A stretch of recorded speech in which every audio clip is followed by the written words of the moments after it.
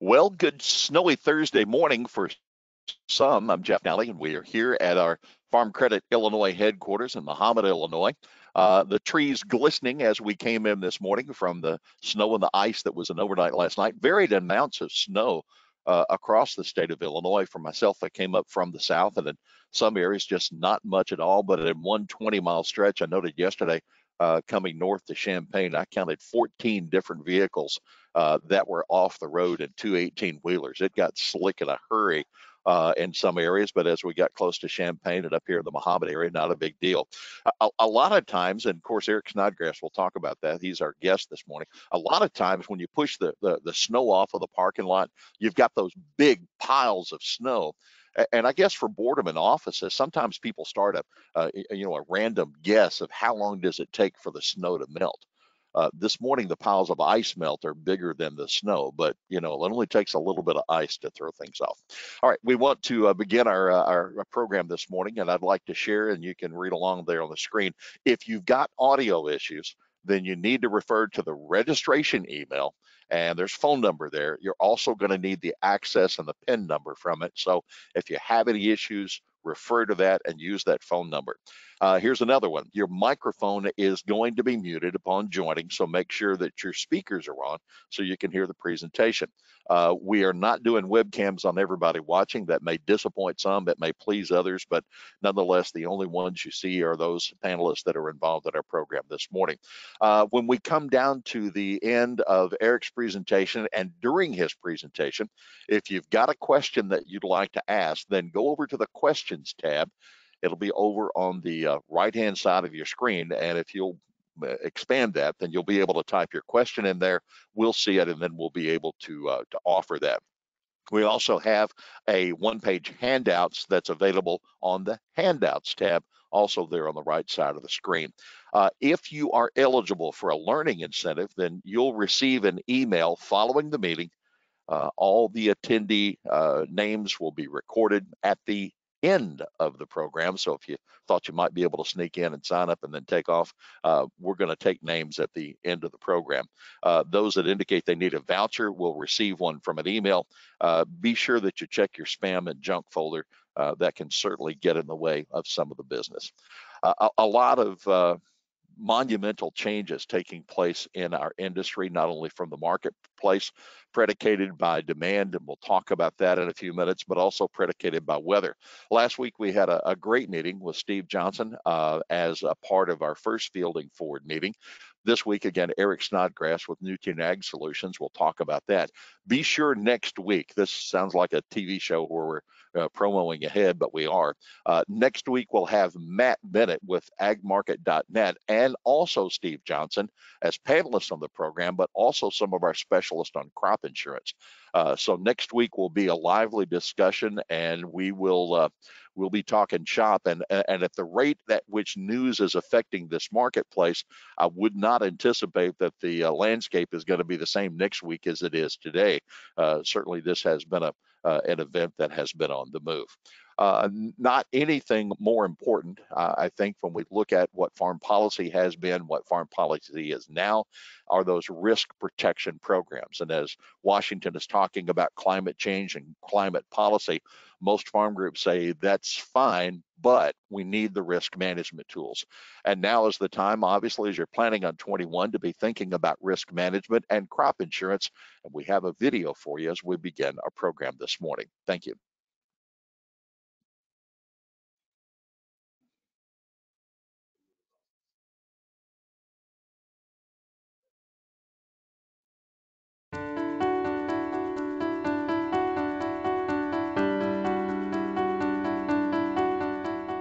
I learned that crop insurance was very important to our farming operation uh, back when I was a youngster and my dad was farming and he thought he could save some money over the years by not having crop insurance and, and he lost um, about 39 and a half acres out of a 40 acre wheat field to a hailstorm right prior to wheat harvest. Crop insurance provides you a baseline guarantee based on the history of your farm operation. Also provides you peace of mind if you're going to have any issues with weather. But at the end of the day, what it's doing is it's just making you be able to plan for the future. We experienced a hailstorm in early July out here, and uh, it was a fairly significant loss. After the devastation was over, we, of course, inspected the farms ourselves. It was disheartening to see what had happened, but you know, we got on the phone, called our adjuster, and it was a relief to talk to him on the phone, knowing that we had the coverage we had. I strongly feel it is important to also take supplementary coverages such as hail or replant options with your baseline MPCI coverage. Hail insurance is extremely important. For instance, if you get farms that some of them get hit and some don't. Your federal crop may or may not cover you in that situation depending on what the other farms made. So it's important for hail to give you that coverage. And hail provides other things such as fire wow. coverage, lightning coverage, transit. Wow. So there's a lot of things that for not very much money that give you a lot of peace of mind above and beyond your baseline policy. This hailstorm was probably the worst event I've ever experienced in, in my 47 years of farming. The settlement that came out of, of the, the hail adjustment was more than fair. It would have been a disaster if we had not have had crop hail insurance. I really enjoy my job a lot. You really are a consultant to your farmer. You want your customer to be successful, and to be that way, you need to know their farm well, and you need to know what they need. We've been very comfortable working with Lee. He's become part of our operation, and we can rely on him. There's no smoke, there's no mirrors. The education that we receive from Lee and the, and the network at Farm Credit has become very important to us. And it's added to our operation and it's enhanced our operation.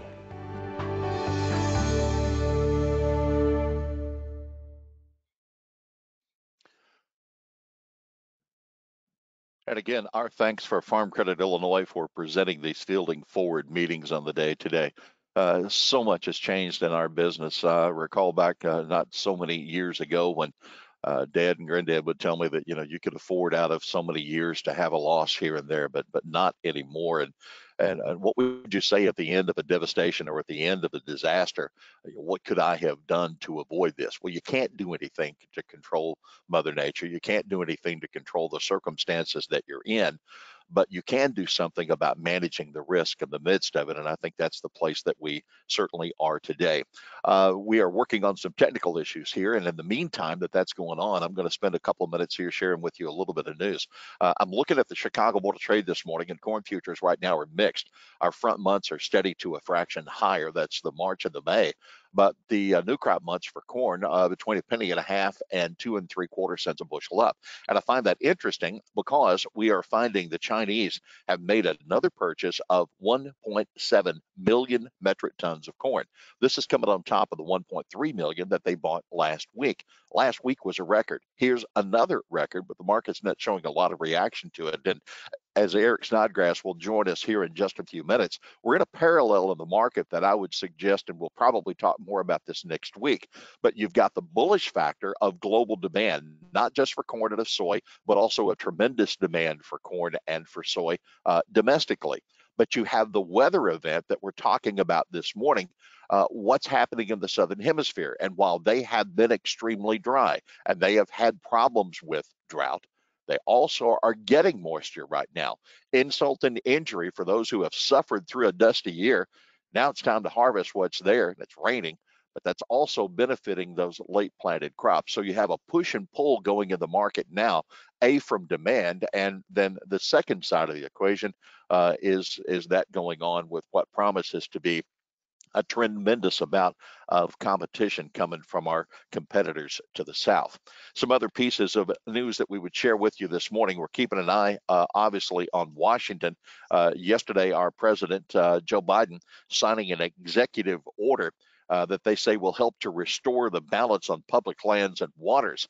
The executive action focus on climate change directs the Interior Department to outline steps to achieve the president's commitment to conserving at least 30% of lands and waters by the year 2030. Interior will undertake the process, and it'll also spill over just a bit.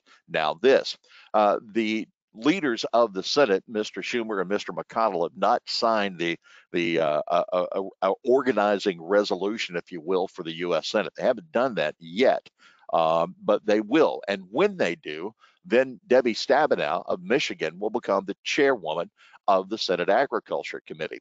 Until that happens, they have a hard time confirming uh, our nominee to be Secretary of Agriculture, which is Tom Vilsack.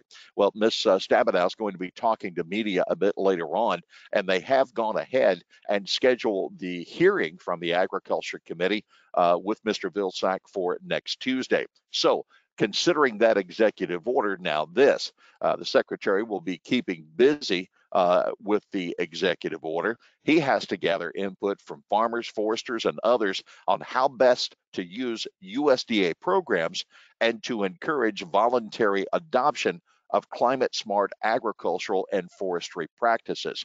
So this makes me wonder what are the things that are coming. Obviously, USDA can't write new laws. And Mr. Grassley said he didn't want this secretary to start changing the stream of the 2018 Farm Bill. He can only implement the policy that's in place. So how may things be amended that would follow along with the president's executive order? That's an issue we need to watch. We also have to keep an eye on Washington and see what policy may be coming down the pike. Does climate change, uh, does it wait for the new farm bill? Or does the climate change situation begin to take form now and they start to amend some programs? I would suggest there's a tremendous amount of difference in what could be a carbon bank from the Department of Agriculture to award farmers for farming practices that are that are precision and that are climate smart, as we have here in Illinois, and then the contrast to that of the Green New Deal. And there are plenty of folks who want both and on either side of the equation in DC. All right, the USDA uh, suggested yesterday they're going to halt debt collection on farm loans for a period of time uh, because of COVID. Uh, you'll hear more about this in this climate debate. Greenhouse gas emissions for corn are 46% lower than gasoline, according to a new study that was released by the ethanol industry. And that's going to come in really handy as we start to talk about climate ag. Growth Energy had shared with us that the previous study was 39%. Now we're up to 46%. We'll share this when uh, our uh, presenter comes in this morning, but I'd like to share something with you about our neighbors in Iowa. Here's some of the latest uh, research from Iowa State University's Iowa Farm and Rural Life poll. Uh, in Iowa, at least, farmers have moved significantly in their view about climate change. Last year, 81% of farmers believe that climate change is occurring, up from 68% in 2011. That, according to the study. By comparison, only 67% in the general public in Iowa believes that the climate is changing. And after they have experienced drought and flood and then last year's derecho event, you'd have to believe that some of these things taking place, uh, obviously helping them to see that things are just not like they used to be. Uh, I'm excited for our presenter this morning. Eric Snodgrass is the principal atmospheric scientist for Nutrien Ag Solutions. He develops predictive analytical software solutions to manage weather risk for global production agriculture. And as much as I respect Eric, no, he doesn't control weather, but he does provide frequent weather updates that focus on high impact weather events influencing global agriculture productivity. There's a lot of other nice things that are here in Eric's bio, and I know he's listening to him uh, to me now. Uh, Eric was the director of undergraduate studies of the, of the, Department of Atmospheric Sciences at the University of Illinois uh, from 2006 to 2018. Uh, but in terms of our national media today and those who are involved in the industry, I don't know a person who works harder to provide information that is valuable and useful. Uh, Eric, over almost 40 years in this business, I've talked to a lot of people, and sometimes their opinion of themselves uh, uh, is a lot uh, greater, should you say, uh, than the information they provide. Uh, folks, if you don't know Eric, then I would suggest this is a guy who is more concerned about doing the job and seeing the job done right than probably anyone I've ever met in the industry. A tremendous amount of respect for this young man. I'm excited for what he's done, more excited for the things that he's going to do in his career and service to this industry and the country. Without further delay, ladies and gentlemen, our presenter this morning is Eric Snodgrass. Hello, neighbor. Hey, it is so good to, to to hear your voice and to know you're just down the road from me right now, Jeff. And I uh, I apologize for all the hiccups there with with what was going on. Get my presentation started. I can't get my webcam working, but you know what? I'm, I'm just going to tell you. Uh, COVID, I gained 10 pounds and a beard, so I don't look very good. I don't need you to see me. Let's just take a look at the weather here, and I uh, have a good time this morning talking about how weather is going to be impacting, as you see over there, production ag across the state of Illinois. Uh, and, and, you're right. I just listening to the video, hearing you speak, Jeff. You know, 2020 hit us a different way than 2019 did. And uh, thinking about that, I want to talk about it. We'll talk about those high impact events like the hail event, but also the derecho. We'll talk about flash drought. But I'm also going to talk about some long term trends, and then we are certainly going to look at South America. So I got a lot that I want to share with you. But I got a theme today. And uh, over the winter uh, uh time period, during, during the holidays, I reread one of my uh, favorite books, and I don't know if any of you have read this one, but it's a good one here. It was a book written by Timothy Egan, and it's about the Dust Bowl of the 1930s. It's called The Worst Hard Time. And what I love about this book is it tells the stories of the people of the drought of the 1930s, and it talks about what changed because of this particular event. And that's something I'm very interested in. So this is a good map. When you look at this map, you, you see this kind of, I don't know, is it like a lighter shade of green or yellow that's here across this part of Europe and Russia?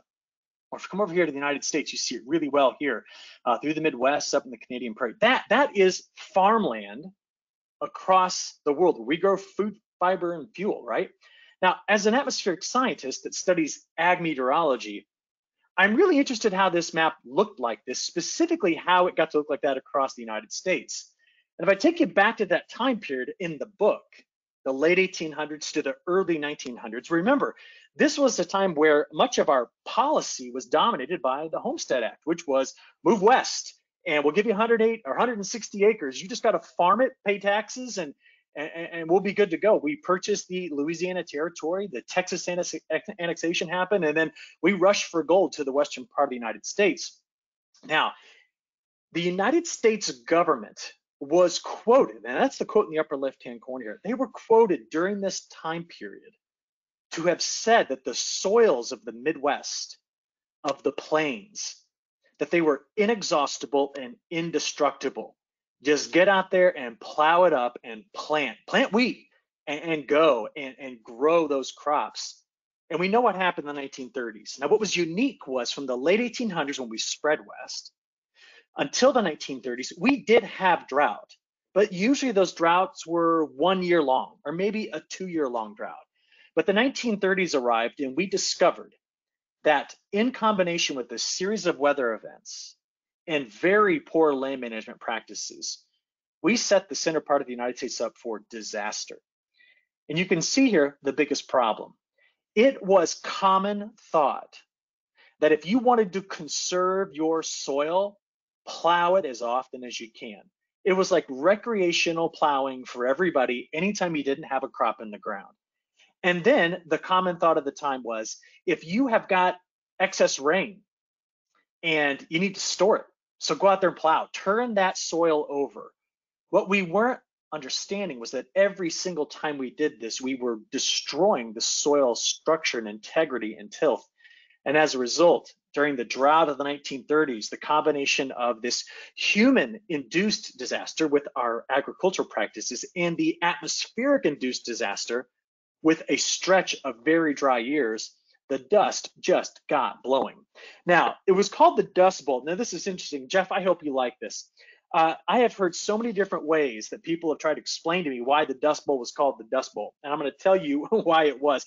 It is not because you had to dust the bowls every time you ate because people did have to do that, but that's not how it got its name.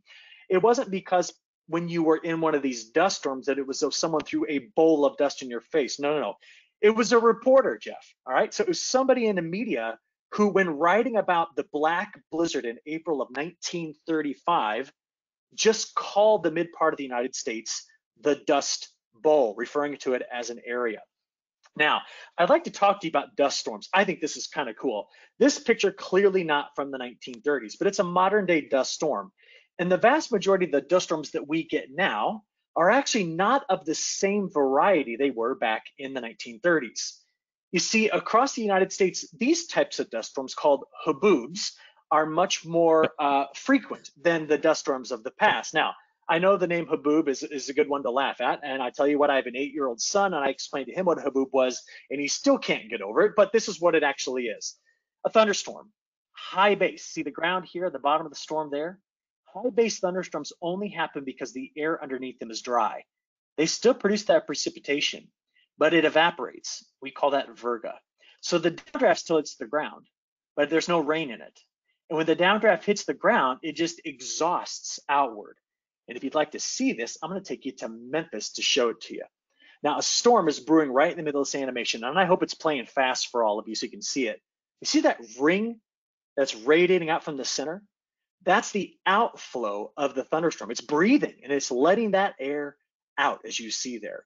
Now, if the soil underneath is dry and dusty, that outflow kicks up the dust, and it looks something like this. Can you see on each of these images that there's a storm sitting on top of the dust storm. Now, this is one way by which you can get this, and there's one of my favorite pictures here from Phoenix back in 2012. Now, the Dust Bowl of the 1930s gave us this type of dust. This was a what we call a synoptic scale dust storm, widespread winds that ran the length of the prairie and the plains and kicked up dust not from thunderstorms, but instead just in these massive plumes that carried across the country. And here's some of the most iconic images from the era. And I'm, I'm glad that these are Creative Commons and released to the public because I wanted to show you this one. Pampa, Texas, April 14, 1935. And this is the southern edge of what was called Black Sunday. This dust storm stretched from here clear into the Dakotas and moved across the United States. And as it did so, here's a picture of a dust storm earlier uh, from the previous year in South Dakota. But these walls of dust, as they advanced at 30, 40, 50, 60 miles an hour, did so and covered everything. At one point, one of these black blizzards was reported to have picked up 50 million acres of dust from the central plains of the United States. But here's the story I want to share with you. From the dust arose a giant in soil conservation, and I hope somebody on the call today knows of Hugh Bennett.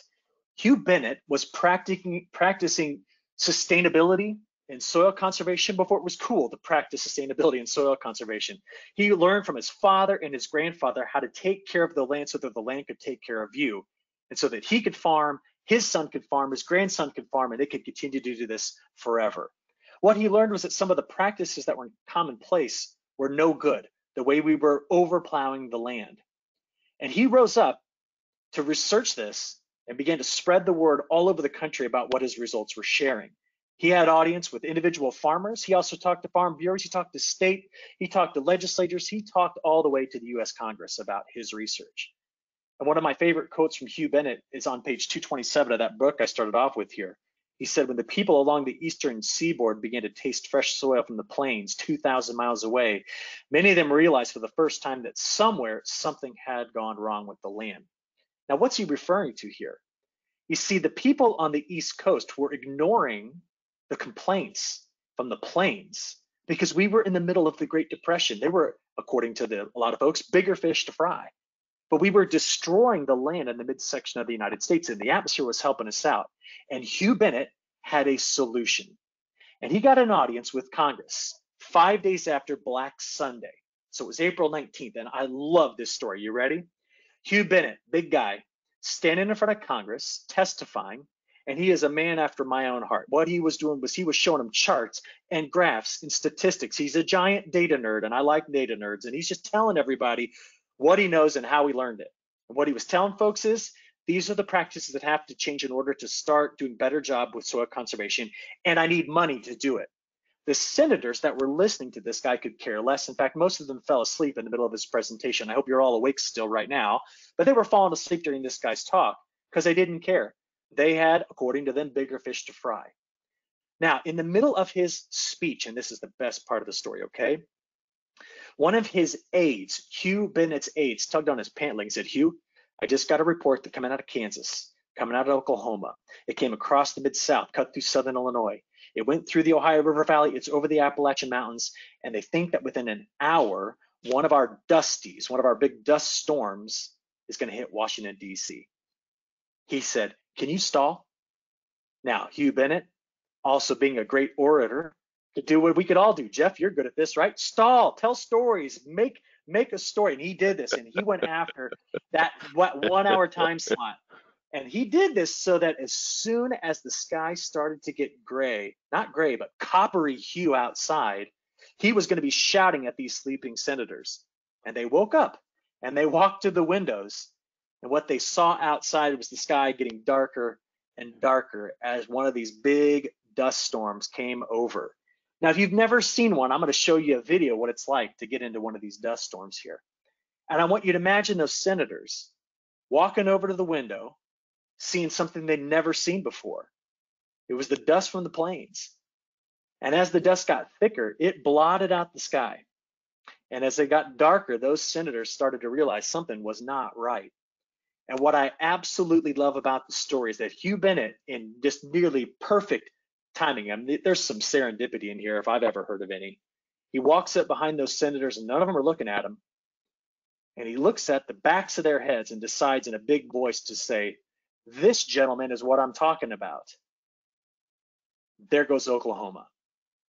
And they got darker and darker and darker.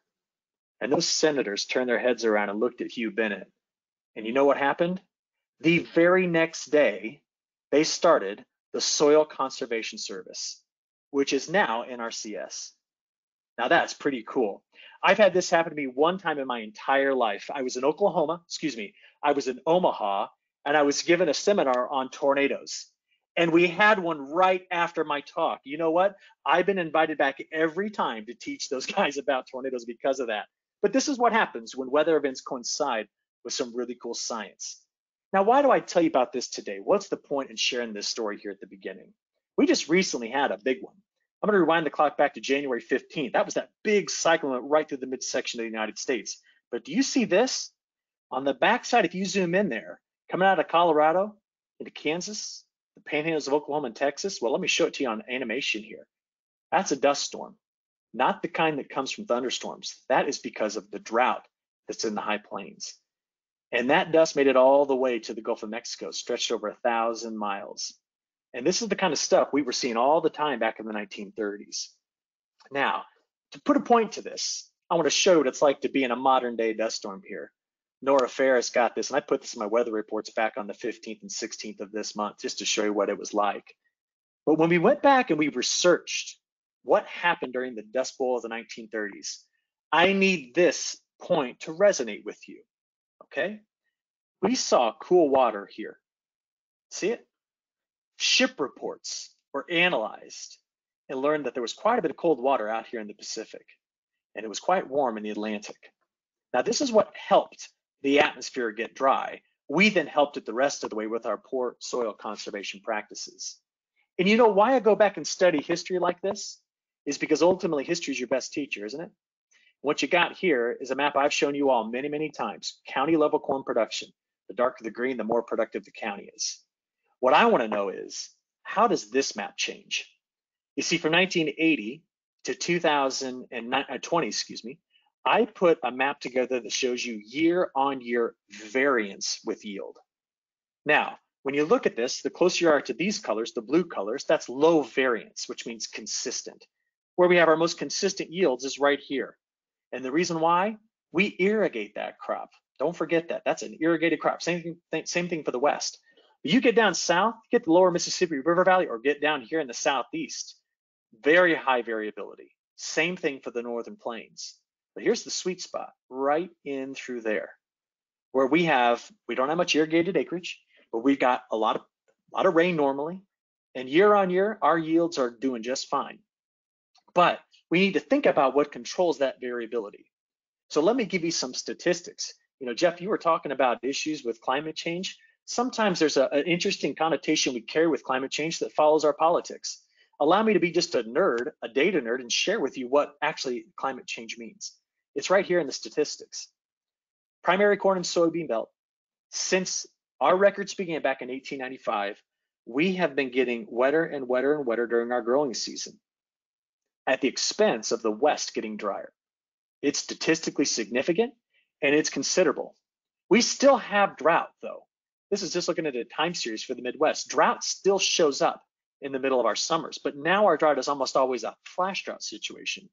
Some of the key factors, take away these lessons with me, okay? You gotta watch the high plains. Gotta watch the four corner states for drought to spread east. We also need to watch the southeast too. I'll make that point in just a few moments. But just know that where we live, drought rarely lasts more than about nine months. The Corn Belt, it is most susceptible now to flash drought scenarios rather than persistent long-term drought.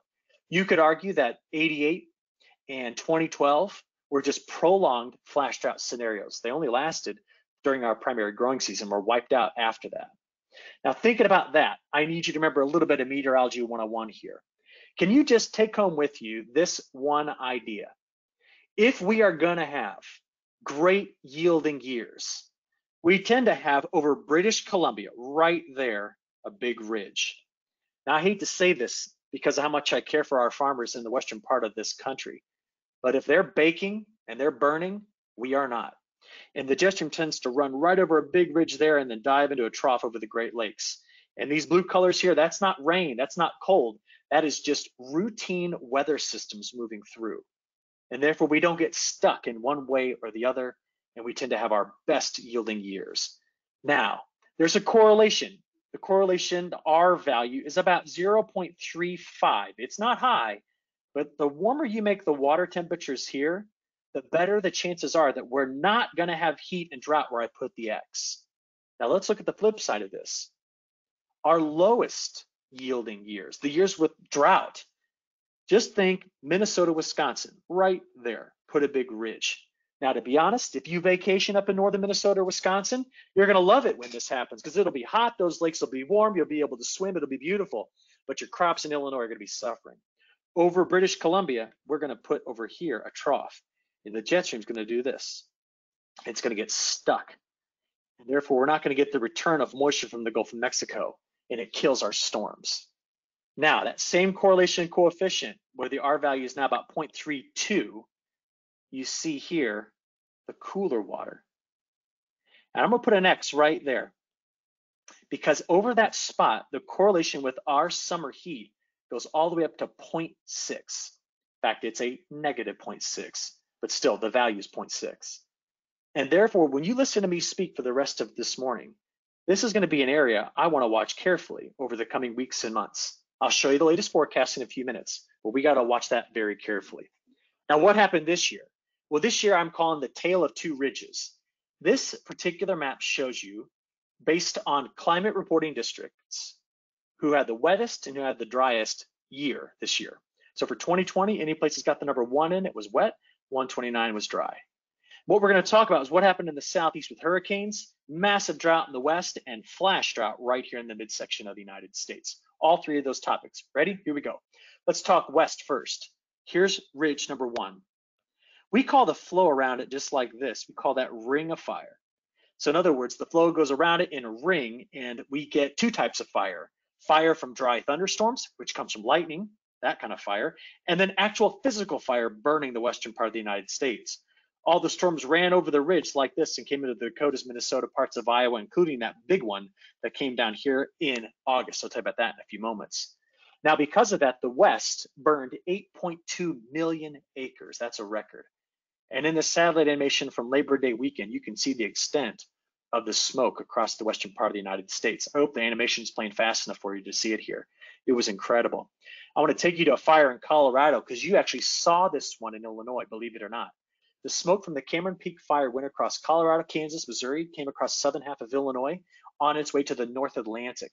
We didn't see it billowing like this. We saw the haze deep in the sky, giving us brilliantly red sunsets. From there, speaking of red, look at San Francisco. This was midday, San Francisco, Labor Day weekend.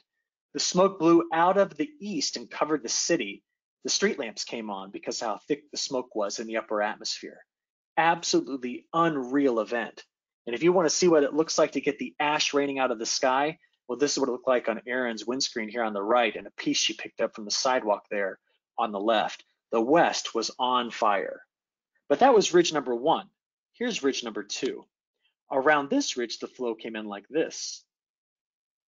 And what it did was help guide hurricane after hurricane after hurricane into the southeastern part of the United States. We flew into every one of them, setting a record for the number of reconnaissance flights. Every squiggly line you see on this figure is a different hurricane that we flew into. Hurricane Laura was one of the worst ones. Louisiana got hit three times, and the moisture from Laura Jeff got all the way up to your territory over there in Kentucky. And this particular hurricane, when it slammed into Louisiana, was nasty, and it destroyed the radar that was in Lake Charles. Now, normally there on this pedestal, there's a big dome that goes around a big 30 foot wide dish. That's what our radars look like. But this radar got hit with 130 mile an hour wind and ripped it off the pedestal. They just finished rebuilding it last week. It cost $1.65 million. A whole new radar system would have been $30 million. So they were able to repair it a lot cheaper than it was to buy a new one. But this is what it looked like right as the radar was destroyed. Lake Charles is here. There's the eye of the hurricane. I'll put an E in it for eye. And as it came over, well, it got hit with 138 mile an hour winds, but about a thousand feet above the ground, those winds were approaching 170 miles an hour. Mid-season is mid-September. And by mid-September, we had Sally, Paulette, Rene, Teddy, and Vicky. And if you notice, that's the end of the alphabet. We had already almost completely exhausted our name list before we even finished the month of September. And the contingency is to go into the Greek alphabet. And when you go into the Greek alphabet, well, this year we made it clear to iota, but this was one of my favorites, epsilon. You're on board the Hurricane Hunter and you're about to fly through the eye wall of Hurricane Epsilon out in the open Atlantic at 10,000 feet. And what the pilot's doing here, and I hope that video is playing smoothly for you, we're flying right to the center of this hurricane where we're going to drop an instrument pack that we'll get the data from and be able to better forecast exactly where this hurricane is going to go. Now, here's something I'm proud of in the United States, knock on wood, but we have never lost an aircraft flying into hurricanes. And these folks do it all the time. Now, when you put it all together, though, take a look at this. Why was the South and Southeast so wet? We had 12 separate systems that either 10 of them which hit the United States and two of them which brushed by. And you can see here that Delta, Zeta, and Eta were the last ones that came through. Iota, which hit Honduras, was one of the most powerful tropical cyclones of the entire season. It was the last one. Now, why tell you about all this? Because look at what it did to our drought monitor. Soaked this area, fried that area. And where were we? Right in the middle. Now, in Illinois, current drought monitor, we got a little swath right in through here. One of my good friends, Todd Gleason from WILL, his farm is right there. Is the only farm in the state that right now I think is sitting there at the third stage of drought. Oh, there's some surrounding farms there in Logan County. But you look at this, and you just got to remember that 60% of the country right now is covered in drought. And what I'm going to tell you that I'm most concerned about for the state of Illinois, so listen carefully. In our state, this drought's not going to go away. Reason why? Soil stays frozen all winter long, snow piles up on top of it, snow doesn't have much water content in it, and by the way, it's all going to melt off in the spring, come down the rivers. That's going to be a drought that's going to be there once we start spring. This area here, right in the southern plains. I'll put a big X in it. That is what you need to watch. If that area fills in with drought between now and May, I'm worried about Illinois. And if that fills in and it gets dry here as well, that is also not good. Because if that Bermuda high, let me show you this. If that Bermuda high goes from here to there, game on. We're going to get flow around it and tons of thunderstorms. But you do not want the Bermuda high to become the Memphis high that might mean something else, doesn't it? Because if that Memphis high comes in there, ooh, it's going to smoke us out and not in the way of good barbecue. It's going to shut us down for, for moisture. Those are the things that I'll watch most carefully as we progress forward with this drought monitor. Now, I want to talk to you about flash drought because there's a valuable lesson in here. August got us. Nebraska, driest. Iowa, third driest. And that is despite the derecho. Illinois, 13th driest time period on record. And in the month before that, in July, we got hammered with storms, including that big a, a, a, hailstorm that went right through the middle part of Illinois here. We're still cleaning up damage for that. In fact, my church last night, we had a meeting talking about how we're gonna get the roof repaired. It was a nasty go of it this year. Well, this is a, a product that I can give you, send it out to you. You can follow me and I'll make sure you get it. But it is satellite-based soil moisture, top four inches. Now, what I'm gonna show you is from July the 15th, how this flash drought set up. Are you ready? As we play this, moving it forward, we see that through much of July. See the green showing up in here? These were some of the big storms that raced through. But look back at Iowa. We started to see drought emerge in Iowa, Nebraska, South Dakota here, such that through the month of July, that drought seemed to get worse and worse in this particular spot. Now, we were doing okay in July across much of Illinois until we got into August. Now, big rains began August, especially in the southern half of the state. Look at that. Look how wet it was in the southern half of the state. But as we then move forward, look at what happened by mid-August, toward the end of August. In fact, let's just stop there on August 27th. Nebraska, South Dakota, Iowa, Northern Illinois, Indiana, Ohio, super dry. Hurricanes still slamming the southeast. But this is what flash drought is. Took three weeks to take us down below 2% on soil moisture for the northern half of the state. And to get over there to Iowa and Nebraska was even worse. As that happened, yeah, we had a derecho come through, but what did derechos do? They move fast and therefore it put down rain, but it was too quick to do anything. I'll show it to you in a moment. We then had at the beginning of September a, a shot at some relief that came through right there. But then watch what happened toward the end of September, now going into October. And it got really, really dry for our harvest throughout much of this state. The southern half of the state fared better than the northern half of the state, that's for certain. And we tucked right here in the middle. We're just that, we were tucked away in the middle. But let me show you what happened. My good friend Chad Colby went out and flew a Cessna around, saw this field fire right here in central Illinois. Look at the burn scar. And I think you included this uh, Farm Credit Illinois in your promotional video. South Dakota, this field ripped through a, a, a, fire here. And uh, this particular farmer actually tried to go out and harvest this. He did at least have a sense of humor. He said, yeah, I harvested. It was at 3% moisture, but all my corn was cooked. And I've been using this particular um, uh, picture here to explain to my kids that when you uh, cook field corn, it doesn't pop. They just don't know that yet, but they're learning. Uh, but that's uh, that's what uh, what happened with this very very dry end of the season we had to endure. Now we had severe weather, but it was primarily in the northern plains. Beautiful view here of the storm in Grand Forks putting down this big tornado. In fact, my friend Michael Martz got out and chased after this tornado in Minnesota. Now that's a pretty narrow tornado. We call them a rope. Look at this sucker going into the back of that supercell. I am not brave enough to be Michael here. He's about 80 yards from that as it ripped through that soybean field here. That's way too close for me. I've seen these suckers throw debris out miles. You're not going to get me that close to a tornado as much as I do enjoy storm chasing. But you notice with the ridge out in the west, our storms had this trajectory. Now I'm just showing you an example here from July the 11th. Storms coming out of Minnesota, Iowa, cutting across Illinois. And I tossed in a picture of some of the wind damage here uh, from a field up in Pontiac, Illinois. We did get green snap. I mean, this field just saw a lot of destruction here. But we did have our fair share of nasty weather, including the hail, including these windstorms. And also, I want to at least show you what happened with that derecho. So in the middle of a drought, massive storm system races through, starts in South Dakota, Nebraska, cuts through Illinois, produces 15 reports of tornadoes in Illinois, and brings in this brief but violent storm system to Iowa. Now, as it went racing through, it did a lot of damage. Cedar Rapids looked like this for about 25 minutes. They saw winds gusting from 80 to 130 miles an hour, just destroying everything in its path. And the infrastructure that was destroyed, plus the crop that was laid over, well, my initial assessment of this when I got my first good satellite image looked like this. And I could see damage in these areas to the tune of about, my initial estimate was 8.5 million acres. Now we since know that uh, that uh, some of the data has come out that showed us much higher damage amounts. And we've seen the USDA reports catch up on this, especially in January. Some of the crop production losses were from this particular derecho. But I got asked a good question this morning. I'm gonna tell you the answer to it. How often do these things happen? For Iowa and Illinois, about once a decade. There was a nasty one in Southern Illinois back in 2008. Uh, 2011, we had the big one that came through Iowa, Southern Wisconsin, and Northern Illinois. And so these are not frequent, but when they come through, boy, you better hope you got that insurance product because this is uh, it'll pay off for itself one go around. Now we have hail damage every year. We have wind damage every year, but I'm talking about derecho events like this. They are nasty.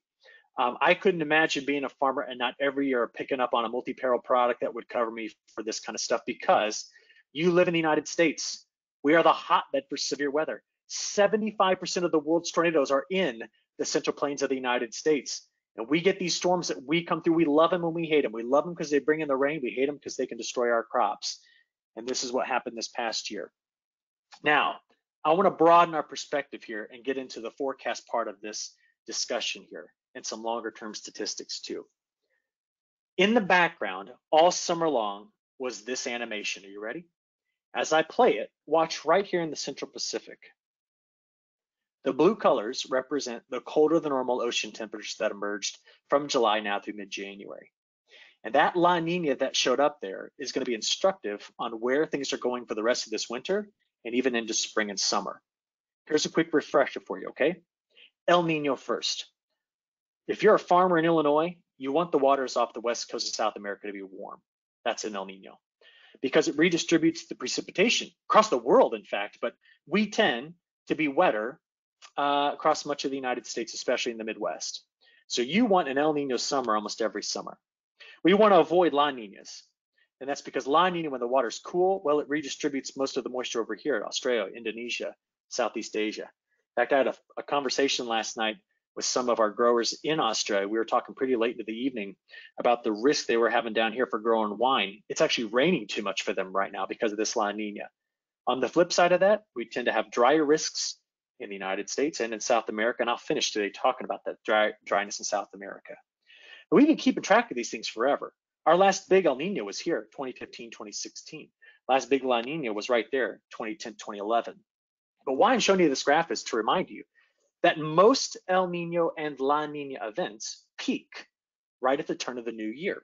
And this one right down here is doing just that. And it's beginning to fade, but it's going to be around with us for a while as it begins to fade. And why we care so much about that is because of what La Ninas do. You know our weather comes from the west, right? Well, our westward progression of the jet stream tends to be robbed a bit when there's a La Nina. Tends to slow the thing down, lets it get stuck and when it gets stuck, we don't like that. We like to be unclogged, all right? We want the El Nino factor in there. We want the jet stream to just be screaming out of the west, bringing us routine weather systems. Well, La Ninas don't do that. They tend to give us more blocked weather patterns, leading to more drought, especially in summer. So, given that, over the next couple of months, remember what I told you at the beginning? This is February, March, and April forecast of ocean temperatures. You got a warm tongue here and there, but right in through here, you see the fading La Nina. It's still pushing hard in the Central Pacific, but we got a bit of a warming trend back over here towards South America. Now remember, through February, March, and April, I'm just going to switch over to, uh, I'll switch to red here. I need you to watch everything that's between those, well, inside this red polygon I just drew there, right in here. Because if it's not red and instead it is uh, if it's blue like this, by the time we get into spring, that is a red flag. Sorry for all the color references here for us in the Midwest. Now at this point, let's make sure that everything is clear. We do not see in this area right now major risk for it going cold. But if it does, I'm going to be concerned about our upcoming summer uh, drought concerns. Now, I'm going to give you that forecast in a minute, but I wanted to put that back into your brain. Now, to add to that discussion, I want to come right into Illinois, Iowa, and I'm to talk about the whole of the Corn Belt.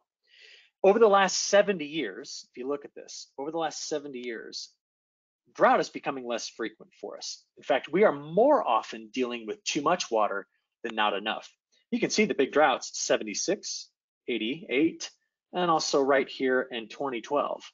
But put this stat in the back of your mind, and I've told this group this in the past. Over the last 70 years, we've added 5.5 inches of total rainfall. Unfortunately, that rainfall delivery mechanism is changing a lot. And here's some new research I've been doing for Nutrien over the last year and a half.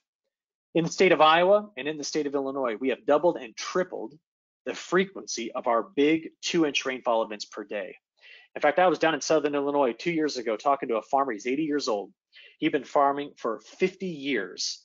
And when we had this conversation, he pulled me aside and I will talk to a guy that's been in the industry that long any day of the week. And he says, I got to ask you a question.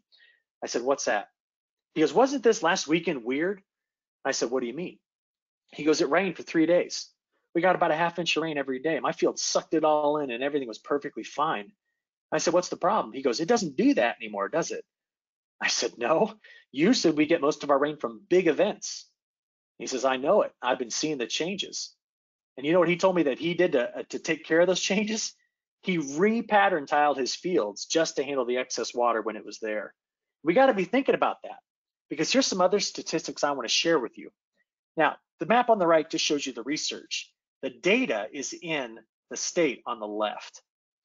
I've been looking at April and May and trying to understand if our planting windows are getting tighter. Due to increased amounts of heavy rainfall, combined with increased frequency of rainfall events. Since 19 since the 1980s, look at the number right here in red. Across the state of Illinois, we've lost about five field days where we can get out and do our field work. Now, this hasn't really been a problem because our equipment's gotten bigger, and therefore, when we need to plant, we can plant. Think back to 2018. Remember that? April 2018, coldest on record. May 2018, warmest on record we planted at a pace of 400 acres a minute across the state of Illinois. Now, thinking about moisture, look at this. This is looking at the trend in something called PWAT, precipitable water. Since the 1970s, we have increased the total amount of moisture in the atmosphere that can be rained out on our fields by 15%. That's also helped increase our overnight temperatures by about three degrees, which has lengthened our growing season by nine days on average. You see, when folks are talking about climate change, this is what it really is. And as a farmer, we need to take this information and monetize it. We need to take this information and use it to make better decisions to increase profitability and maintain sustainable efforts. Because the same thing's true with our specific humidity. We've increased it by 6%. And when we think about all these changes, what it means is going into the longer term, got to show you one of my favorite videos we got to figure out better ways to manage our water. Now, clearly, this young man here has got the wrong idea. Taking a five gallon bucket and throwing over the fence is not going to keep the water on the neighbor's property. You know, when I think about successful management of water, I think about the way that we use the ground. I think about the experts in the field at our extension offices, at Illinois Farm Credit, those folks that are out there studying the best practices in order to help us keep the water when we when we need it, and get rid of it when we don't in a way that preserves the soil nutrient content and is sustainable for all that downstream uh, washout that we do get. This is the most important factor that the Illinois farmer is going to face moving forward. Now, from here, what I'm going to spend my last little bit of time doing is I'm going to talk about how we forecast this stuff. And let's stretch this all the way out to a summer forecast here in a few minutes. Now, something I want everybody on the call to listen very carefully to. Two things. The bulk of weather forecasting, modern weather forecasting, is done with numerical weather prediction, our models, and they're good. That animation you're watching over there on the right, that was from Monday. I put out my weather video. There's a risk of severe weather across the southeast. I did that early Monday morning, and by Monday night, the models had really advertised the chances for some severe storms. Now, I am not sure if you've seen this because I know it was shared across national media uh, probably is even shared on the Weather Channel. I don't watch the Weather Channel. I love those guys; they're brilliant. But uh, I don't have time for commercials and storm stories. I need to see what the weather's going to do. But this was a picture that was shared.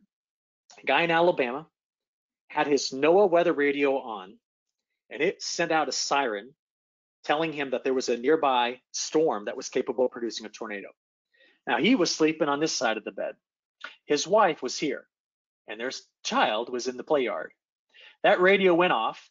He jumped out of bed, got the wife up, got the kid out, and they went and took shelter. And this two by six came through the wall and went right to where his wife was sleeping. Now, this is how you can put a value on good weather information. Now, given that, I got asked a good question. I got asked this yesterday to a group I was talking to in North Dakota. How do I use your weather information? I'm going to tell you how. Our weather forecasting skill is really dependent on the accuracy of two modeling centers. One is run here in the United States. Its flagship model is called the GFS. The other major center is the Europeans, the ECMWF.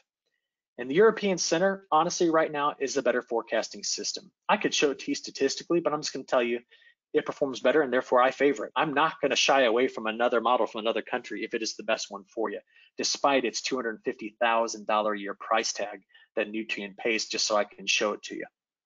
Now, given that, what I want to show you is this, and I can't I can't stress how much you need to remember this, okay? You got a graphic here that shows you forecast accuracy.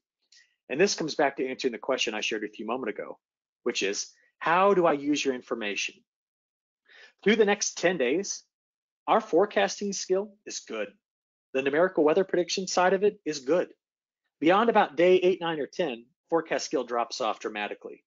We call this no man's land, right here, day 15 to day 45.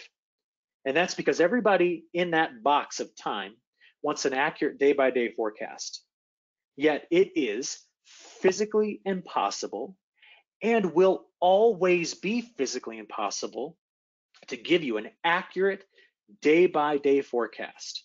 Now, we can make improvements on our skill, but to be accurate at that time period is impossible because the atmosphere is nonlinear in its behavior and chaotic. But people will try to sell you that they can do that. So before I show you how someone tried to sell it to us, let me tell you this. Use my forecast out to about eight, nine, 10 days to plan your operations. Figure out your week. Know when the rain's going to get there. Understand what the soil temperature is going to do. Use it to understand when you can spray, do applications, know when to plant, find the windows. Out to about 10 days, we're solid.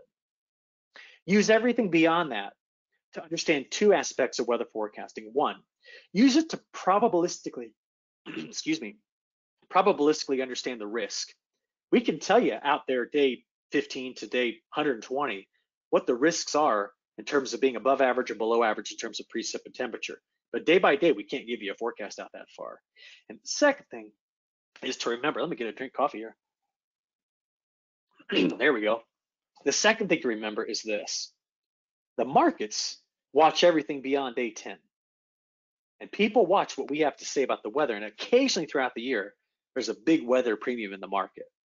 But please remember this next story. And if you've heard it from me before, I don't care. I'm going to tell it to you again. There was a company a couple years ago in 2016 telling every farmer in the Midwest to get ready for $7 corn. They were predicting massive drought. I watched their promotional video. They said that every single day they did. Now, would you look at this number? I'll write it for you 61 times 10 to the 103rd power calculations to predict your day by day weather for the next 11 months. And they claimed 90% accuracy. I'm like, holy smokes, where'd you get that computer? Because IBM has one called Watson, and every day it can only do 10 times 10 to the 24th calculations. That's still a lot, but far short of 61 times 10 to the 103rd. And by the way, let me give you another big number. It's the number 10 times 10 to the 80th power. You see that number right there? That is the number of known atoms in the universe.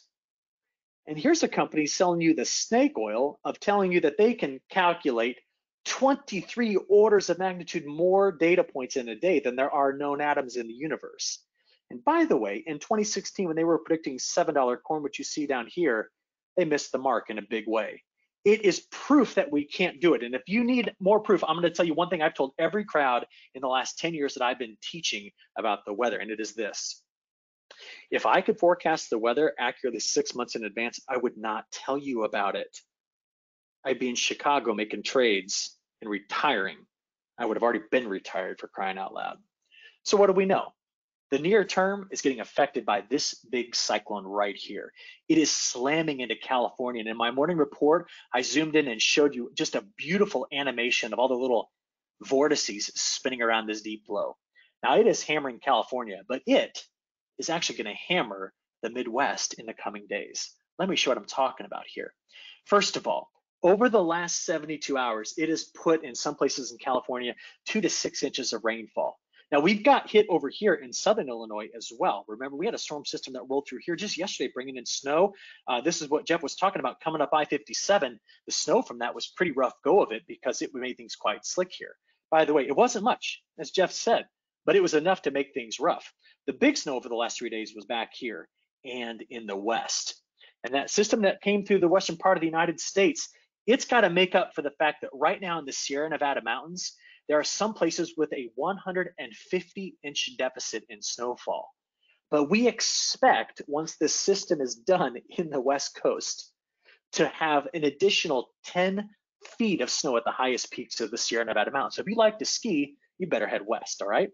These are the areas I'm watching most carefully. Inside of each one of those uh, dashed lines, I think we're going to see some major changes in the snowfall amounts. And I'm to explain to you especially what's going on right here. Now, Jeff, I would like to show you. This was what came through yesterday, spreading that light snow through Kentucky, southern Indiana, and southern Illinois. And it made things disastrously slicker on, on I-57 right in through there. It put snow down over here in parts of uh, North Carolina this morning. And if you think that this part of the country can't handle much snow, North Carolina shut down on just a couple of inches. They can't handle it at all. In the west, that stream of moisture, watch this again, coming into California right there. In fact, if I can try to play that again, let's watch it one more time. There it is. This is the culprit that is going to be bringing in big time snows for parts of Iowa, Illinois, Indiana, and Ohio. And I want to talk to you about that. So that jet stream pattern, remember I told you it gets really wavy when there's a La Nina? Well, here's the wave we're going to watch next. And as it comes over toward us, let's get to it and see how things are going to shake down. So I'm gonna just gonna highlight one specific event right here. What we did is we watched that animation one more time, is that storm, snowstorm that went across California should be over St. Louis by Saturday night. And if you notice on the northern side of this, we're basically along I-74 is where we're expecting to see some snow. Now, if this low goes any farther to the south, for example, if it hits Paducah, oh, most of Illinois Farm Credit's territory is gonna get a big helping of snow. But as it stands, it's going to go right over the top of Effingham and then make its way over to southern Indiana and eventually to northern Kentucky. Snow doesn't get here into south of I-72, it doesn't look like until Sunday afternoon and evening. And that system goes on off to the east. And behind it, high pressure builds in. But then notice, California got hit again and there's another storm system on February 4th into the 5th that's going to come across the midsection of the country too. Now, we don't know where this one's going to be just yet. It's 192 hours from now. And therefore, if it slides at all to the south, there's more snow for us. But if it goes north, that's a lot of rain coming through here. It'll be interesting because we're going to yank that groundhog out of his cage before this and get his opinion on the weather. And as I've told you in the past, remember, the groundhog has no predictive skill. He's wrong more often than he is right. He needs to actually consult a meteorologist, but he's too tired to do it because remember, the groundhog should be hibernating this time of year, but we'll at least get a prediction from him a couple days before this event. It's going to stay active right through our part of the country. And that low, well, here's all the model forecasts telling you where it's going to be somewhere centered on Effingham. But if it's on the southern side of this, that snow line is going to be south of I-72. If it's on the northern side of this up by Springfield, the snow line is going to be up around I-80. There's still uncertainty that few days out. But the probability of getting three inches of snow, it's right here. This is your chance of getting three inches of snow. And here's your chance of getting six inches of snow. So it's going to be primarily north of I-74 that the best chances of getting heaviest snow is going to be. Beyond that, here's that next system. Told you there's a lot of spread in the forecast, but at least we can get a lookout here eight days in advance to know when and where that thing's going to be. Now, I don't want you to take this map home with you and say, wait a minute, Snodgrass said but right now, the heaviest snow corridor, according to the European model, is right through here, meeting up with the system running up the East Coast. And that's what kind of some of the snowfall mounts are currently looking like. From there, look at the jet stream. Big ridge in the Gulf of Alaska, deep trough here, and there's a ridge right down there. That trough is going to sweep through. Now, what am I telling you this for? When troughs come flying through the central plains of the United States, like they're doing out of day 10 and out of day 15, we just tend to stay wet and active storm track coming through the Ohio River Valley just like that. We're going to stay there. Now, what about those temperatures? Because it has been very warm over the last month. And no, we would not have expected this to be so warm across the Canadian prairie. You see, the weather would tell us that there's a La Nina, it's going to be cold there. But why it hasn't been warm is because all the cold air has been over here. It's been in Russia, it's been in Kazakhstan, China, Mongolia, Siberia, not on this side of the planet because the polar vortex split and sent all the cold air over there. Our polar vortex is severely disrupted. And right now, it's got all its coldest air on the other side of the planet. All I want you to remember is when the polar vortex is strong like this, all the cold air stays inside of it, and everybody that hates winter is happy. But if the polar vortex splits, like it did back in 2019, with one piece coming over the Hudson Bay, Well, do you remember this video I showed you last year? Young lady here soaked her pants in water, tossed them up in the sky at minus 30 degree weather. They froze in mid-flight. And as they uh, came back down to the ground, as you might remember from my video a year ago, they stuck the landing perfectly. Now, that polar vortex is disrupted, which means I think Bernie's well dressed for what we're going to be seeing here in the Midwest as we go forward. Let's get to it. You ready? Over the next few days, yeah, we're cold today, but there's going to be a warm up in the middle part of the United States for this weekend. There's Friday into Saturday. Now, when I say warm, it's relative to this time of year. But with that system sliding through Sunday, getting into Monday, we cool back off across the state of Illinois. But what I want to show you is how things change in the day 5 through 10. See the cold air piling up here and here? By the time we get to day 11 through 15, old Bernie will be well dressed because this is going to start to come across the United States in shots of cold air, not sticking around for 10, 20, 30 days. But middle of February is going to feel like the middle of February, and it's going to have these cold shots of air. What I don't know is how big that ridge is going to be over the southeast. But I'll tell you this if the cold air is here and we are in between the two, this is where all the action is. So February could be fun, and I think I might be happy that I own two snowblowers right now. We had one that broke. I fixed it after we bought a new one. So I've got two, which means my eight-year-old gets to run one of them. Now let's go longer term as I wrap this up and talk about South America here in a few moments. This La Nina is fading. And if we think about what that's going to mean for us, a fading La Nina tends to favor a lot more colder air coming from this direction out of the west. It also tends to build a ridge right down here over the southeast. And in between the two, look at the precip map over there on the left, February 13th to March 12th. It's going to be wet. That means the likelihood of drought developing as we get into early, early spring across Illinois, parts of the mid south, the eastern corn belt is low. But let's come back to that La Nina again. What's it going to do? Well, February, March, and April, remember, it's still there, but it's weakening with time. And thinking about that, we have to come back to our drought concerns. Are we going to see drought develop here? And is the drought in the west going to get any better? Well, to do that, let's look at the long range models. Now, I need you to tune into my forecast after February 5th. Now, I want you to watch them every day, but after February 5th, we get brand new three month outlooks. These are the outlooks for February, March, and April. Active Ohio River Valley storm track. South of that line, the models keep forecasting dry. Now you look over there at the temperature map and you go, well, it's looking warm. Yeah, maybe by a degree or two, which is still cold in February and March and April. If we get cold air, it will be coming from the north and west, but it appears that getting 10, 20, 30 days of super cold air is going to be relatively limited. We'll get shots of it, but it won't stick around.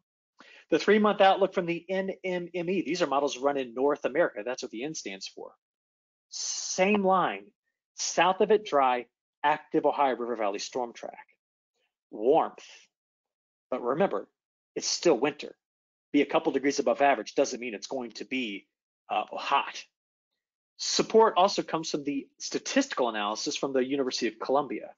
Look at this, south of that line, dry, active Ohio River Valley storm track we see above average temperatures for the most part to finish winter. I'm going to say it again. When we get shots of colder air, they will show up and it will get cold, but there'll be that shots, five, six, seven days of colder air, and then we warm back up again. So we're going to have an active, a very active freeze thaw cycle going forward. And that means a lot for our soil health. Now, I should not show you this, but I'm going to show it to you anyway. This is the May, June, and July outlook. I was talking to a group in California two days ago, and I did not enjoy that conversation because May, June, and July, where the drought is still widespread, seems as though that's where it's going to go back to with the heat and the dryness. And if we end up building another ridge out to the west, the flow comes over the top of it like this. We tend to get more of those thunderstorms during summer. So at this point, the long-term risk for drought is relatively limited. But you need to remember this forecast skill at this time is practically zero. I am merely showing you one possible scenario. I've got to wait until we get into March and April before I really refine this forecast. But let's come back to the reason why I talked about the dust, the dust bowl.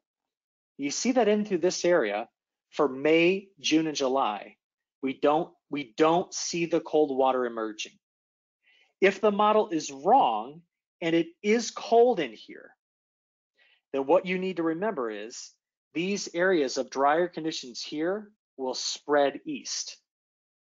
The only other thing I'm going to tell you to worry about is over the southeast. Now, the models are not forecasting this yet, but if it gets dry in early summer over the southeast and that creeps toward Kentucky, then we in Illinois need to be on the lookout for this. In my last three minutes, what I want to talk with you about is South America. Now, we've had a projection all season long of 132 million metric ton of soybeans that would follow the exponential increase in their production to hit an average number for this year. Remember, Brazil only farms 8% of its arable land. They've got a lot more pasture land, not rainforest, but pasture land they can convert over to farmland. That inset map tells you where they grow a lot of soybeans. And just remember, you can fit Texas inside of Mato Grosso. Now, given that, what I want to show you next is some new research I've been doing about Brazil. They have been getting drier and drier in September and October. For the last 40 years, this trend is real. Now, why do you care about that? Well, in years where we tend to also give us drier conditions throughout their growing season, like 2020 and 2021 has been, where all the wet weather is over here in Australia, Indonesia, and Southeast Asia because of La Nina, and the drier weather is here, any delays they have in getting that crop in are going to carry throughout the season. So that figure on the left shows you that compared to the 40 year normal and all of the years, all 40 of them in the data set, the last 180 days for Mato Grosso, which is right here, has been the driest on record. They've been getting precip, but they've missed out on over two feet of rain.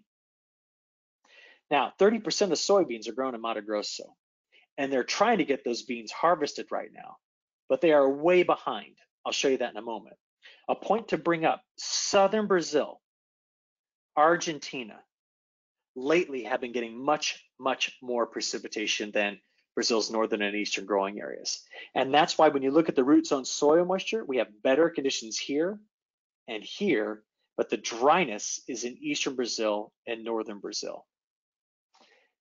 From there, current harvest progress is going to continue to follow the bottom of this envelope which means we will likely have to cover in our export market 15 to 21 days, just given the delay of getting this crop out.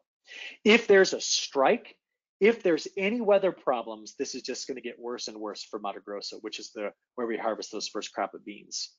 During the dry spells, they've actually been quite hot as well. Over the last 40 days, been five to seven degrees Celsius above average. So we've had really high evaporative transport here as well, meaning that the crop in the eastern part Brazil has been stressed. The wild card is, even though we expect the yield to come down, did they plant 2 million more acres or 4 million more acres or 6 million more acres? Because they can make up for any deficit here with having a good amount of acreage. Over the next seven days, we're dry in the same areas, very wet in southern Brazil and in Argentina, which is why the risk is going to be in the north as we go forward. They're going to get the safrinha crop out late they're excuse me, they're going to get the first crop out late, the safrinha crop in late, which means you all better be watching what I have to say about April when they're trying to harvest that safrinha crop uh, just after it fills, uh, you know, those kernels, and to see if we've got problems with grain fill due to drought later as well. Jeff, I'm going to turn it back over to you. Uh, you listened to me for a solid hour, and I appreciate that.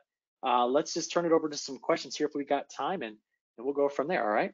Eric, I want to lead one here, and I really, really appreciated the way you started the program, um, looking back at um, the, the the the Dust Bowl era.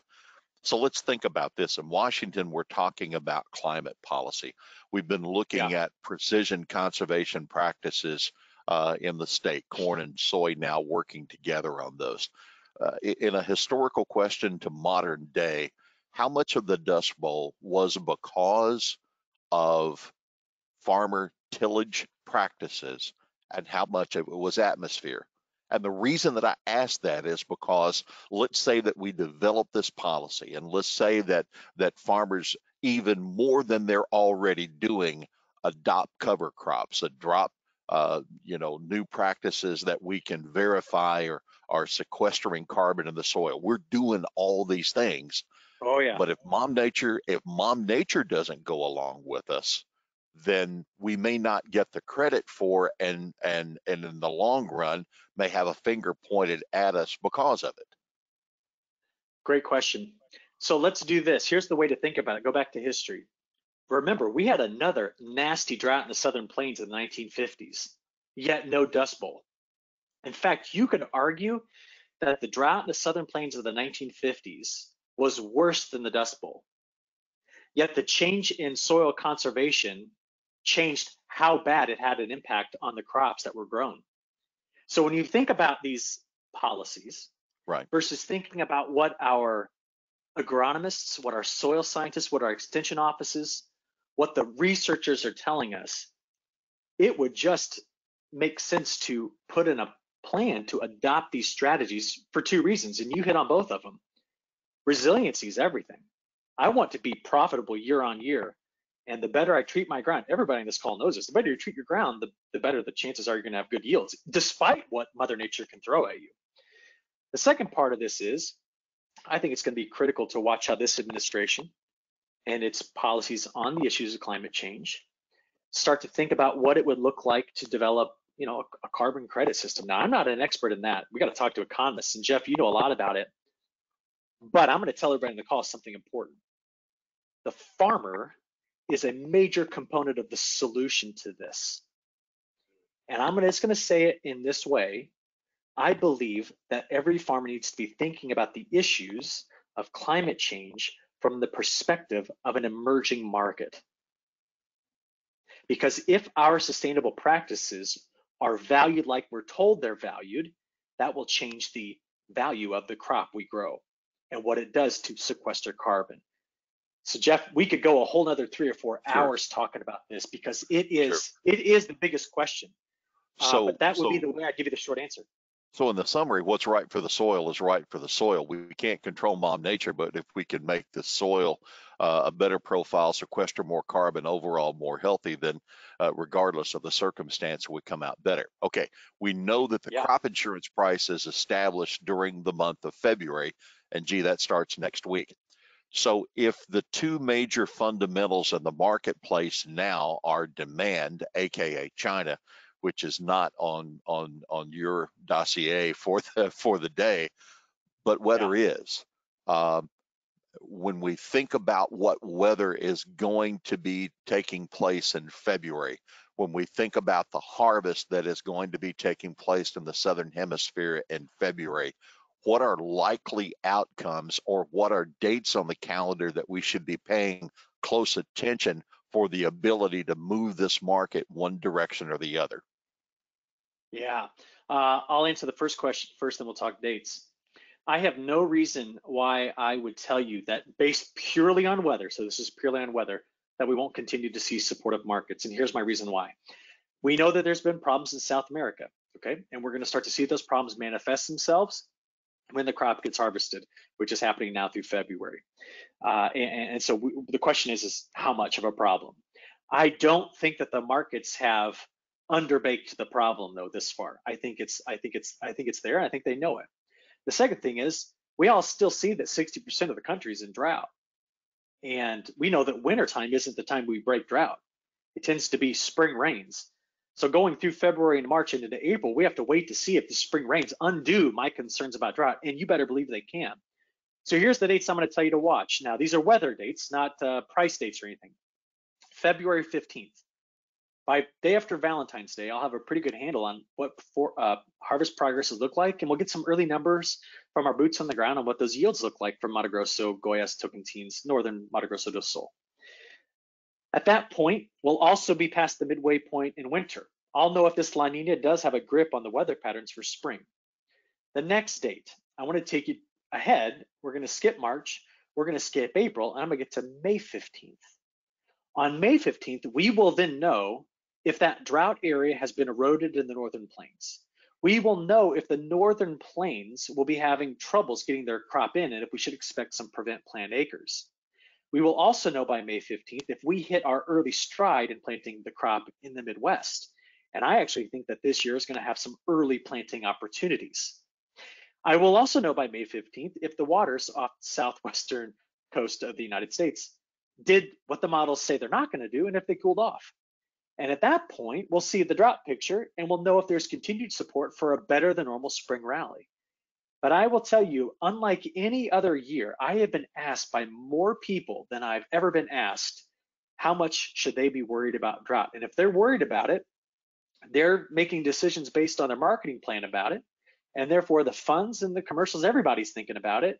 And therefore, I don't think until we have concrete evidence to the otherwise that we would have problems, or excuse me, that we aren't, that we shouldn't expect to have problems until we don't, right? And that's always the case. So one more with the Southern Hemisphere. Um, it mm-hmm. was easy to document the headlines that were talking about the challenges that Brazil was facing with lake planting. And obviously, we're seeing that now with the harvest base, so we can verify that particular fundamental.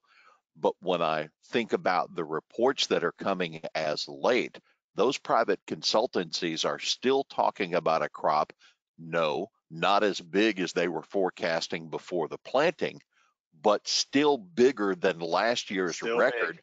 with regard to soybeans. And the verdict is still out on corn.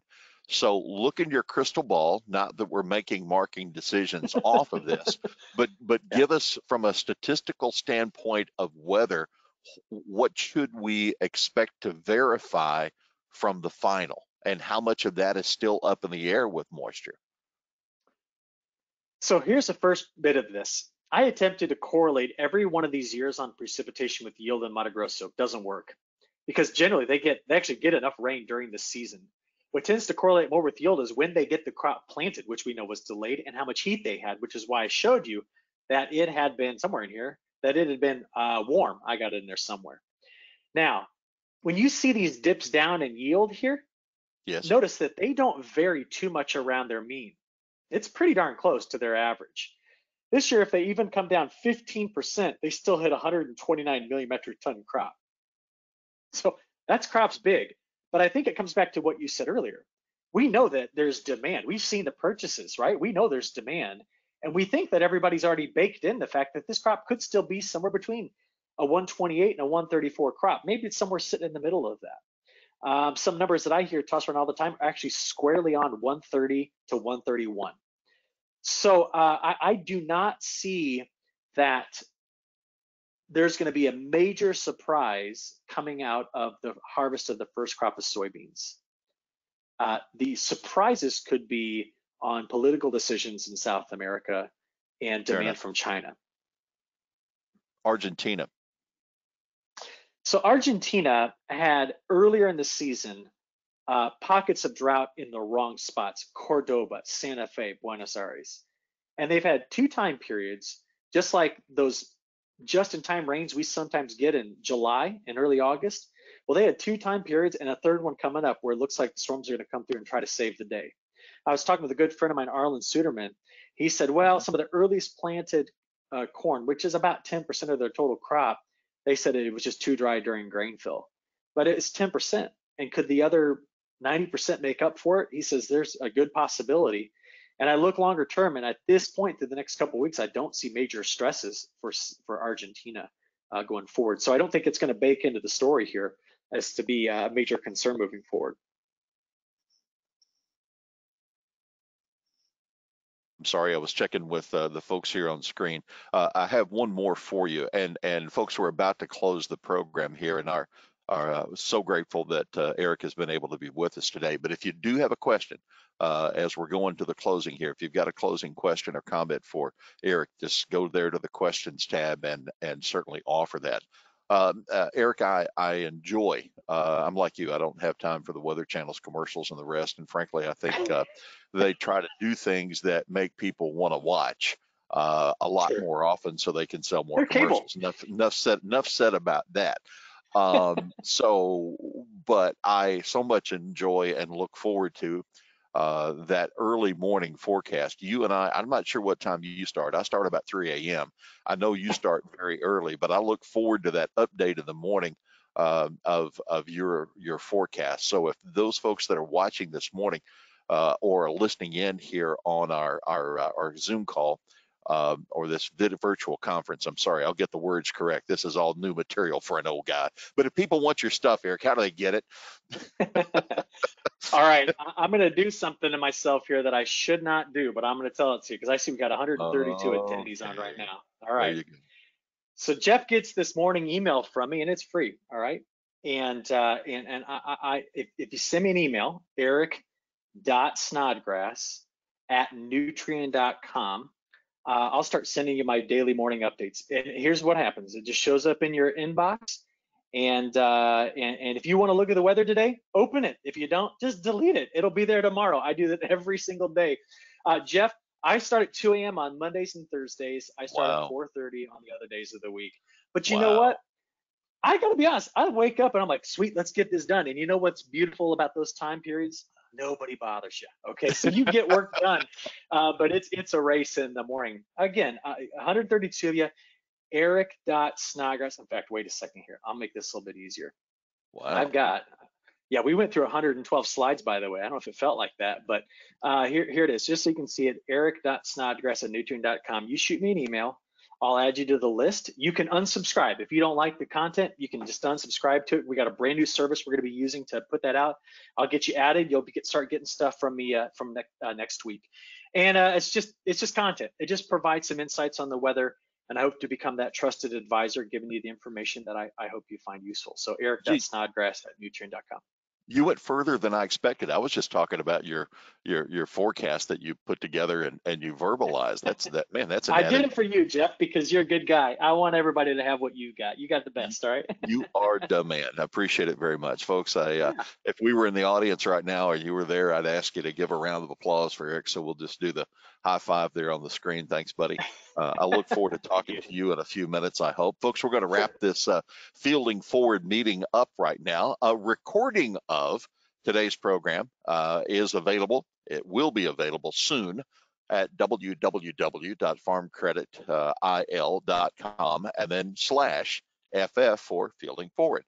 Uh, also, a program survey is going to pop up after this webinar, and a link will be there and a follow-up email. Uh, don't forget this, Farm Credit Illinois Winter Learning Programs. We have the Fielding Forward Crop Panel coming next Thursday right here. Um, the fourth, we'll have Steve Johnson back from Iowa. We'll have Matt Bennett with agmarket.net and a couple of folks on crop insurance. Uh, next week will be an excellent program. We'll be building off of weather and plugging in some of these other demand issues that are continuing to unfold. Also, don't forget on Tuesday, February 9th, estate planning. Uh, that has taken place. More information is available uh, at Farm Credit Illinois, the website. Uh, if you are eligible for Fresh Roots voucher, be on the lookout for an email by the end of today. And if you don't see it in your main inbox, Yep, check the spam or the junk folder. It may have slipped over there. Well, we do have a door prize that we are offering for the day. It is uh, 50 pounds of ice melt. I'm kidding. Um, that's a little tough to ship, but we do have a really nice door prize. It's a set of AirPods. Yes, we're going to give you both the left and the right, and that belongs now to Michael Kenner. Michael Kenner on the list uh, today is our door prize winner. Another reason to participate next Thursday, there'll be another door prize. Uh, so grateful for the staff and everyone who worked so hard to bring these fielding forward meetings uh, together. We'll look forward to being back in person next year. Uh, here's some of the folks that we want to say thank you to, and their names and their logos are presented here on the screen. Hope you have a great day. Hope you have a great weekend. We'll look forward to seeing you next Thursday. For Farm Credit Illinois, I'm Jeff Nalley.